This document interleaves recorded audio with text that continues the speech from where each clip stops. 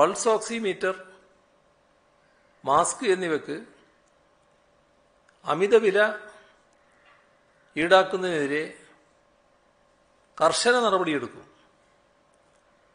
തദ്ദേശ സ്വയംഭരണ സ്ഥാപനങ്ങൾ വാർഡുതല സമിതികൾക്ക് ആവശ്യമായ സഹായം അപ്പപ്പോൾ ലഭ്യമാക്കണം. വാക്സിനേഷൻ കേന്ദ്രങ്ങളിൽ തിരക്കൊഴിവാക്കുന്നതിനും വാർഡ് സമിതികൾക്ക് ഫലപ്രദമായി ഇടപെടാൻ കഴിയും.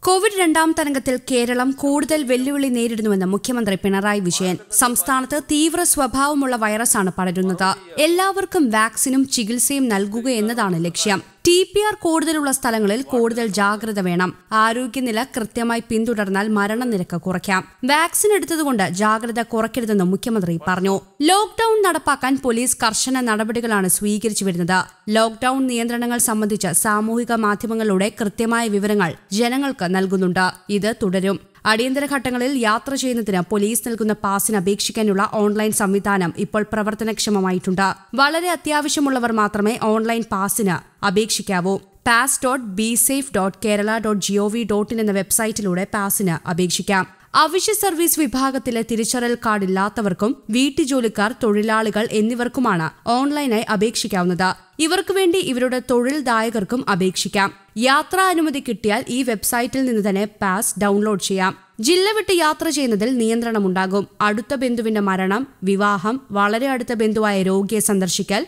ഒരു രോഗിയെ ചികിത്സാ ആവശ്യത്തിനായി മറ്റൊരിടത്തേക്ക് കൊണ്ടുപോകൽ മുതലായ കാര്യങ്ങൾക്ക് മാത്രമേ ജില്ല വിട്ട് യാത്ര അനുവദിക്കൂ.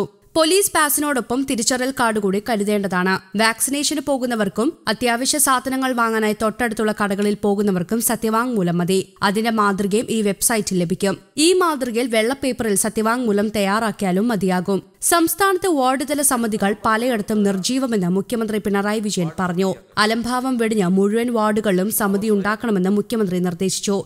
ആംബുലൻസിലെങ്കിലും പകരം വാഹനം സജ്ജമാക്കണമെന്നും തദ്ദേശ സ്ഥാപനങ്ങൾ ഇക്കാര്യങ്ങളിൽ കൂടുതൽ ജാഗ്രത പുലർത്തണമെന്നും അദ്ദേഹം വാർത്താ സമ്മേളനത്തിൽ വ്യക്തമാക്കി.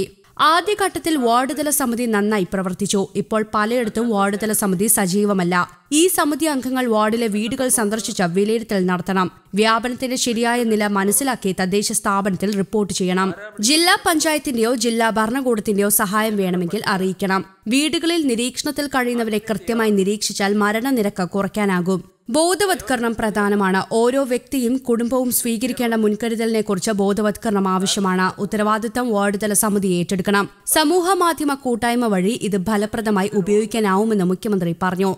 ആംബുലൻസ് സേവന വാർഡ് തല സമിതി ഉറപ്പാക്കണം. ലഭ്യമാകുന്ന ആംബുലൻസിന്റെ പട്ടിക തയ്യാറാക്കണം. ആംബുലൻസ് തികയില്ലെങ്കിൽ പകരം ഉപയോഗിക്കാവുന്ന വാഹനത്തിന്റെ പട്ടിക വേണം. ആരോഗ്യ സന്നദ്ധ പ്രവർത്തകരുടെ ലിസ്റ്റ് തയ്യാറാക്കണമെന്ന് മുഖ്യമന്ത്രി നിർദ്ദേശിച്ചു. ഓരോ തദ്ദേശ സ്ഥാപനത്തിനും രോഗികളുടെ ആവശ്യത്തിന് ഗതാഗത പ്ലാൻ ഉണ്ടാകണം. ആംബുലൻസിന് പുറമെ മറ്റു വാഹനങ്ങളും ഉണ്ടാകണം. പഞ്ചായത്തിൽ അഞ്ചും നഗരസഭയിൽ പത്തും വാഹനം ഈ രീതിയിൽ ഉണ്ടാകണം. ഓക്സിജൻ അളവ് നോക്കൽ പ്രധാനമാണ്. വാർഡ് തല സമിതിയുടെ പക്കൽ പൾസ് ഓക്സിമീറ്റർ കരുതണമെന്ന് മുഖ്യമന്ത്രി വാർത്താസമ്മേളനത്തിൽ പറഞ്ഞു.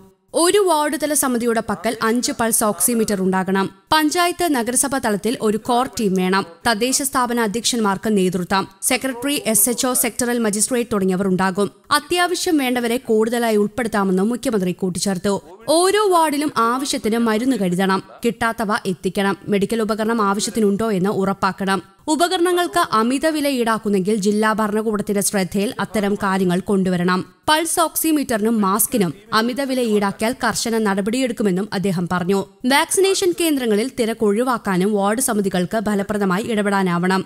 മൃതദേഹങ്ങൾ മാനദണ്ഡം പാലിച്ച് മറവ് ചെയ്യാനുള്ള സഹായം വാർഡ് തല സമിതി നൽകണം. മുൻപ് പൾസ് ഓക്സിമീറ്ററുകൾ ശേഖരിച്ച അതിന്റെ ഒരു പൂൾ ഉണ്ടാക്കാനും വാർഡ് തല സമിതി നേതൃത്വം നൽകണമെന്നും മുഖ്യമന്ത്രി കൂട്ടിച്ചേർത്തു. News desk Kerala Kaumudi.